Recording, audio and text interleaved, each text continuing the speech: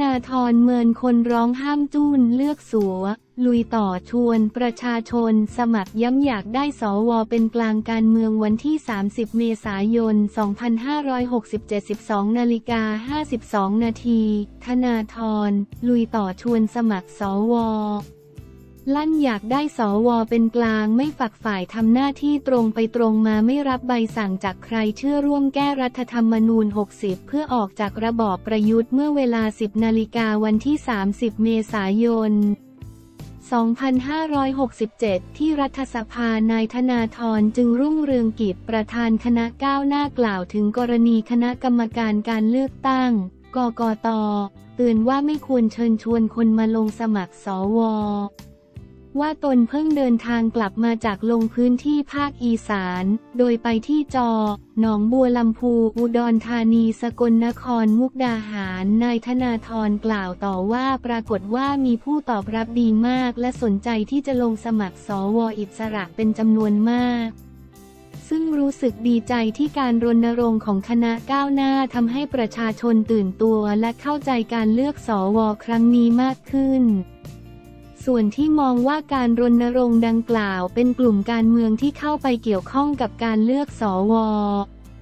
นายธนาธรกล่าวว่าไม่ได้เป็นเช่นนั้น เพราะเรารณรงค์ให้คนทุกอุดมการไปสมัครสว และยิ่งมีคนไปสมัครมีส่วนร่วมกับการเลือกสวมากเท่าไหร่ตนคิดว่าสุขภาพของการเลือกสวจะดีมากขึ้นเท่านั้น ดังนั้นขอเชิญชวนทุกคนไม่ว่าจะสนับสนุนพรรคอะไรจะมีอุดมการทางการเมืองแบบไหน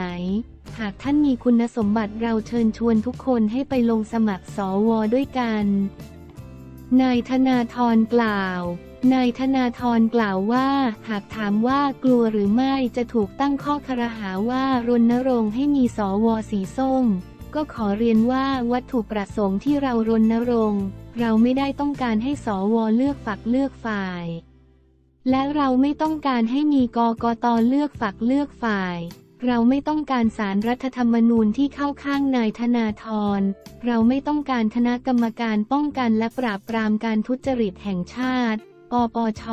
เข้าข้างพักก้าวไกลแต่เราต้องการสวที่เป็นกลางและต้องการกกตที่ตัดสินด้วยการยึดหลักที่ถูกต้อง รวมทั้งต้องการปปชสารรัฐธรรมนูญที่มั่นคงเป็นธรรมคืนความยุติธรรมให้กับสังคม เพราะเรารู้ว่าถ้าองค์กรต่างๆ เหล่านี้สนับสนุนพวกเราก็จะมีปรากฏการณ์ลงถนนกันอีก ดังนั้นการจะฟื้นฟูความเป็นปกติความเป็นประชาธิปไตยนำประเทศไทยให้กลับมาเหมือนเดิม มีอยู่ทางเดียวเท่านั้นคือคืนความเป็นธรรม ซึ่งมีแต่ความเป็นธรรมและความยุติธรรมเท่านั้น ที่จะนำมาซึ่งความสมานฉันท์ของคนในชาติ และมีแต่ความยุติธรรมเท่านั้นที่จะนำมาซึ่งความปรองดองของคนในชาติ เราต้องการให้องค์กรต่างๆ เหล่านี้ ซึ่งสมาชิกองค์กรต่างๆ เหล่านี้จำนวนมากถูกแต่งตั้งโดยสวชุด 67ดำรงตำแหน่งโดยยึดหลักความถูกต้อง ความเที่ยงธรรมการเมืองไทยก็จะกลับมาสู่ความปกติ ซึ่งตรงนี้เป็นจุดเริ่มต้นแรก ดังนั้นของย้ำว่าเราไม่ต้องการกกตสีส้มสารรัฐธรรมนูญสีส้ม แต่เราต้องการให้ทุกฝักทุกฝ่ายเป็นกลางยึดความถูกต้องกกตควรสนับสนุนตนในการเชิญชวนมาเลือกสว เพราะเป็นหน้าที่ของกกตการรณรงค์ให้ประชาชนตื่นตัวเข้ามา มีส่วนร่วมอย่างที่ตนทำอยู่ เป็นสิ่งที่นำไปสู่การพัฒนาระบบการเมืองไทยทำให้คนตื่นตัวเห็นถึงความสำคัญของการเลือกสวอยากให้กกตมองบทบาทของเราคือการทำให้คนตื่นตัวทางการเมืองซึ่งจะเป็นผลดี ดังนั้นการไปรณรงค์ให้คนสมัครสวและเลือกสว ควรจะเป็นหน้าที่ของกกตและหน้าที่ของรัฐบาลด้วยซ้ำไป นายธนาธรกล่าว เมื่อถามกรณีมีคนไปยื่นร้ององค์กรอิสระ และสารรัฐธรรมนูญให้ตรวจสอบกติกาการเลือกสวจะทำให้การเลือกสวในครั้งนี้สะดุดหรือไม่นายธนาธรกล่าวว่าไม่ใช่เรื่องของเรา เพราะหน้าที่ของเราในฐานะคนไทย คือรณรงค์ให้คนตระหนักถึงการเลือกสว และตระหนักว่าสว 67 จะมีส่วนในการพัฒนาการเมืองไทย และมีส่วนในการฟื้นฟูประชาธิปไตยอย่างมาก ตัวอย่างเช่น จะแก้รัฐธรรมนูญได้หรือไม่ได้ผ่านหรือไม่ผ่านก็อยู่ที่สวชุดถัดไปที่เรากำลังจะเลือกกันเราจะมีสวที่เห็นด้วยกับการแก้ไขรัฐธรรมนูญ 60 ออกจากระบอบประยุทธ์เป็นรัฐธรรมนูญฉบับใหม่หรือไม่ ก็ขึ้นอยู่กับสวเห็นด้วยหรือไม่ เราจะมีการแต่งตั้งกรรมการที่ดำรงตำแหน่งในองค์กรอิสระต่างๆ อย่างเป็นธรรมทำหน้าที่อย่างเที่ยงตรงไม่รับใบสั่งทางการเมือง ไม่มีสองมาตรฐานอีกต่อไปในอนาคต หรือไม่ก็ขึ้นอยู่กับสว ดังนั้นเรื่องนี้สำคัญมากอยากให้พี่น้องคนไทยตระหนักและเข้าใจในเรื่องนี้ นายธนาธรกล่าวว่าระเบียบของกกตที่ออกมาเมื่อสัปดาห์ที่แล้ว แม้จะไม่กล่าวตรงๆก็อนุมานได้หมายถึงไอรอและเว็บไซต์ s e n a t e 67 com เพราะเว็บไซต์นี้ให้ผู้ประสงค์ที่จะลงสมัครสว มีพื้นที่ในการประกาศเจตนารมณ์ของตัวเอง และประกาศจุดยืนของตัวเองในแง่หนึ่งเป็นการส่งเสริมการเลือกสอวโดยให้ประชาชนเข้าถึงข้อมูลข่าวสารได้มากขึ้นด้วยซ้ำ ยังนึกไม่ออกว่าเหตุใดกกตต้องการปิดเว็บไซต์นี้ หรือต้องการห้ามคนที่มารณรงค์ให้ประชาชนเข้าถึงข้อมูลต่างๆ เหล่านี้ คิดได้อย่างเดียวว่าผู้มีอำนาจต้องการให้การเลือกสอวอครั้งนี้เป็นไปแบบเงียบๆแคบแคบทำกันไม่กี่คนเหมือนเลือกสอวอครั้งที่แล้วเราจะได้ แต่สอวอที่เป็นกลุ่มพวกพ้องที่มีการจัดตั้งมา เราไม่ได้สอวอที่มีคุณภาพตามที่เราต้องการจริง ๆ นายธนาธรกล่าว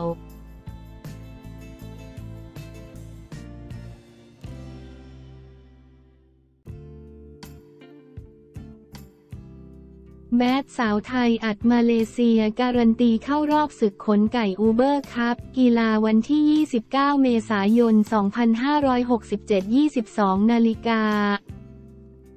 การแข่งขันแบดมินตันรายการ Total Energy BWF Thomas Uber Cup Final 2024 ระหว่างวันที่ 27 เมษายน ถึงวันที่ 5 พฤษภาคม ที่สนามไฮเทคโนโลยีโซนสปอร์ตเซ็นเตอร์เมืองเฉิงตูมณฑลเสฉวนประเทศจีนเมื่อวันที่ 29 เมษายน ที่ผ่านมาทีมแบดมินตันสาวไทยลงสนามนัดที่สองในรอบแบ่งกลุ่ม กลุ่ม B พบกับทีมชาติมาเลเซีย ผลการแข่งขันปรากฏว่าทีมตบลูกขนไก่สาวไทย ยังทำผลงานยอดเยี่ยมโดยเอาชนะไปได้ 5-0 คู่ โดยผลการแข่งขันมีดังนี้ คู่แรกหญิงเดี่ยวมือหนึ่ง เมสุพนิดาเกตทองมืออันดับ 16 ของโลก เอาชนะเลชชานาคารุปปาเทวานมืออันดับ 68 ของโลก 2-0 เกม 21-17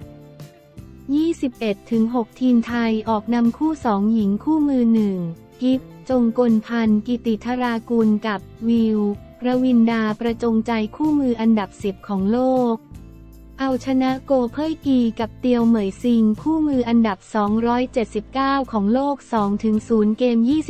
21-10 21-14 คู่ 3 หญิงเดี่ยวมือสองหมิว พรปวี ช่อชูวงมืออันดับ 19 ของโลก เอาชนะหว่องหลิงชิงมืออันดับ 81 ของโลก 2-0 เกม 21-11 21-15 คู่สี่หญิงคู่มือสองเก้น ลักษิกากันละหะกับจอมแจมพไทยมาสเหมือนวงคู่มืออันดับ 35 ของโลก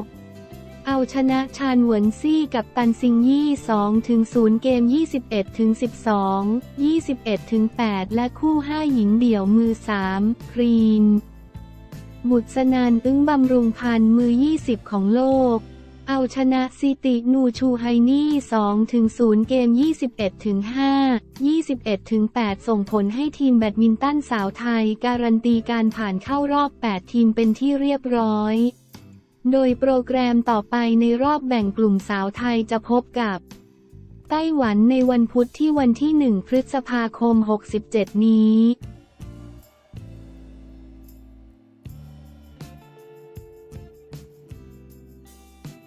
ฟาดแรง ครูมานิตซัดปานปรี ไร้น้ำอดน้ำทนไม่ใช่ขีแม่นักเรียนแพทย์ทหารลาออกไม่กระทบการเมืองวันที่ 30 เมษายน 2567 13นาฬิกา14 นาที ครูมานิดลั่นปานปรี ไม่ใช่คีแมน เพื่อไทยเชื่อลาออกไม่กระทบซัดไม่มีคุณสมบัติเป็นนักการเมือง ท้วงอย่าลืมเป็นรัฐมนตรีได้ เพราะผู้แทนเมื่อวันที่ 30 เมษายน 2567 ที่ทำเนียบรัฐบาลนายครูมานิด สังพุ่งสอสอสุรินทร์พักเพื่อไทยให้สัมภาษณ์กรณีนายปานปรีพหิทธานุกรลาออกจากรัฐมนตรีว่าการกระทรวงต่างประเทศหลังถูกปรับพ้นตำแหน่งรองนายกรัฐมนตรีว่า ไม่ส่งผลกระทบต่อพักเพื่อไทยนายปานปรีอาจจะเก่งเรื่องวิชาการ แต่ไม่มีคุณสมบัติการเป็นนักการเมือง ไม่มีความอดทนอดกลั้นบางฤดูเข้าไปอยู่ในพักก็หายไป ตอนที่มีพักไทยรักษาชาติก็ไปเดินอยู่ในพักไทยรักษาชาติ พอจะจัดตั้งทีมให้ออกไปช่วยงานการเมืองก็หายไปอีก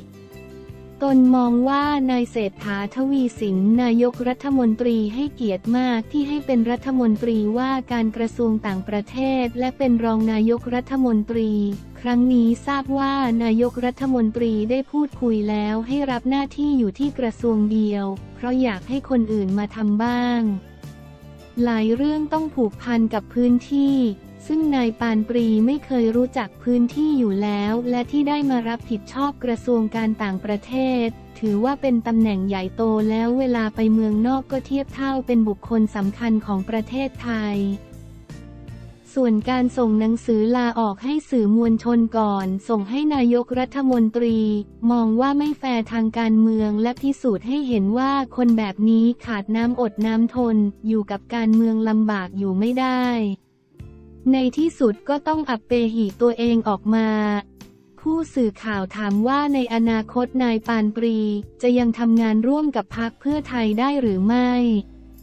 นายครูมานิดกล่าวว่าตนไม่ได้ดูถูกดูแคลนเขาเขาเกิดมาไม่ได้มีคุณสมบัติของการเป็นนักการเมือง การเป็นนักบริหาร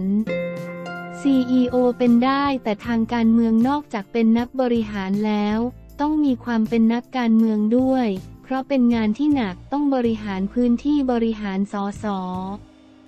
บริหารราชการแผ่นดินเรื่องทุกสุขปากท้องชาวบ้านมีเยอะ เรื่องนี้ยืนยันว่าไม่กระทบต่อพักเพื่อไทย เพราะนายปานปรีไม่ใช่คีแมน คนสำคัญของพักคนที่เก่งสามารถบริหารกระทรวงการต่างประเทศได้มีอีกเยอะ เมื่อถามว่าพูดแบบนี้เป็นการตัดบัวไม่ให้เหลือใยหรือไม่ นายครูมานิดกล่าวว่าไม่ได้บอกว่าตัดบัวไม่เหลือใจตนอยู่การเมืองมานานแทบจะไม่มีโอกาสคุยกับนายปานปรี ทั้งที่คนที่เป็นผู้บริหารต้องมีความผูกพันกับนักการเมือง เช่น นายสุริยะจึงรุ่งเรืองกิจรองนายกรัฐมนตรีและรัฐมนตรีว่าการกระทรวงคมนาคมที่วันนี้มีนักการเมืองมาหาจำนวนมาก